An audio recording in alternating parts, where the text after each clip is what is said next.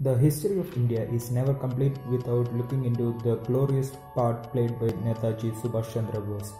In the same way, the history of Indian money will not be complete without looking into the banknotes issued by the Azad Hind Bank that is formed by the Netaji Subhash Chandra Bose. Ladies and gentlemen, boys and girls, welcome to Indian Coin View, your favorite channel in which we discuss a lot about coins and currencies around the world. So guys, in today's video, we are going to look into the Azad Hind Bank banknotes. Now, this is one of the most mysterious topic that is talked by the numismatists and notophilists in India because a lot of them A don't know about them and B even if they don't know about them, they don't have much information about it. So let's look into what is this banknote issued by the Azad Hind Bank. As history says, the Provisional Government of Free India or Arsi Hakumat-e Azad or more simply Azad was an Indian provisional government established in Japanese occupied Singapore during World War II. It was created in October 1943 and supported by as well as largely dependent on the Empire of Japan. It was a part of a political movement originating in 1940s outside India with the purpose of allying with the Axis powers to liberate India from British rule. It was established by Indian nationalists in exile during the later part of the Second World War in Singapore with monetary, military and political assistance from Imperial Japan. On the basis of historical accounts given by C. Turnell in Fiery Dragons, Bank Moneylenders and Microfinance in Burma, and uh, Kanailal Basu, Netaji rediscovered. Azad Hind Bank was established on 5th April 1944 at Rangoon, which is now in Burma or the Myanmar. Then the headquarters of the Provisional Azad Hind Indian government located in the Imperial Japan.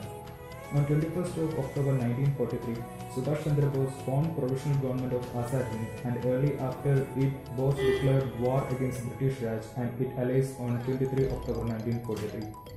Bose established the Azad Hind Bank to manage funds donated by Indian community from across the world for the liberation of India from the British Raj, while utilizing the bank's service for the operation of Azad Hind Fauj.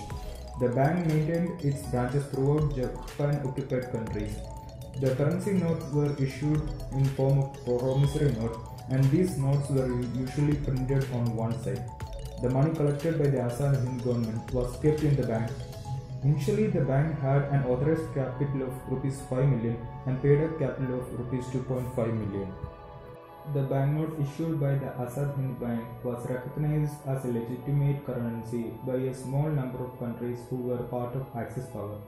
Azad Hind had diplomatic relations with nine countries that is, Nazi Germany, Empire of Japan, Italian Socialist Republic, Independent State of Croatia, Wang Jui government, Thailand, the state of Burma, Manchukuo, the Second Philippine Republic. So, in all these countries, the banknote issued by the Azad Hind Bank was considered as a legitimate banknote issued from the Azad Hind or the so-called Free India. These banknotes came into limelight and recognition in 1980s when some of the historians and notophilists found out the existence of such a money issued by the Netaji through Azad Hind Bank. Before that, there was no record of the same, and only the records given by some historians about the existence of Azad Hind Bank was there. However, once they started finding out, they started looking for more of such banknotes and found out that a quite few people had such promissory note banknotes issued by the Azad Hind Bank with them. These banknotes were like in a crude nature, that is, they have not like proper uh, like finishing in their printing and they were only having printing in one of the sides of the banknote and many of the notes have famous slogans of Netaji printed on them like Tum mujhe khoon do, main tujhe azadi दूंगा that is give me blood and I will give you freedom. The notes have a photograph of Netaji Subhash Chandra Bose or other leaders such as Mahatma Gandhi, Captain Lakshmi Swaminathan, the female commander of the INA's Rani of Jhansi's Women Regiment and Minister of Women Affairs for the Provisional Government of Hind and Jawaharlal Nehru, etc. These images will be coming on the left side of the banknote and a pre-independence mark of Indian territory with inscription Swatantra Bharat in Hindi or on the other side. In the middle, it was inscribed Jai Hind in English with the words I promise to pay the bearer the sum of the face value of the banknote. On the top of the note, in a series of flags of Azad Hind is given, or a bold inscription saying Bank of Independence with good wishes, inscribed at the bottom. The denomination of the notes that are recognized till now, which are found till now, is 5, 10, 100, 500, 1000, and of 1 lakh.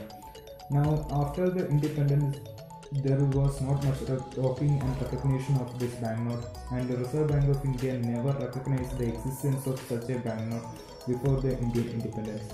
Hence, we couldn't look into or learn a lot about these banknotes. But as historians say, there was a series of banknotes in this way issued by the great leader Netaji Subhash Chandra Bose through the Azad Hind Bank so if you guys know about them or like if you have seen any of such banknotes do comment below this video and tell us more what you feel about the banknotes. Or if you want to know about them or if anyone want to know about them where can they find out more about these banknotes? What I have learned is that the Banknote Society, the Coin Collection Society of Kolkata, the Numismatic Society of Kolkata, is having a couple of banknotes with some of its members in this series, and they are considered to be very rare and like very valuable in nature because it is true that Netaji Subhash Chandra Bose role is like very important in India. Hence, there should be enough respect and recognition given to the banknotes issued by him also.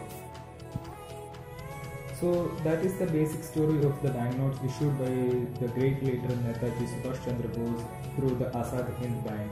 And if you want to know about such interesting stories about coins and currencies around the world which no one has ever explored about, do subscribe to the channel and press the bell icon so that you will get a notification in your tab and you will not be missing any of such interesting discussion.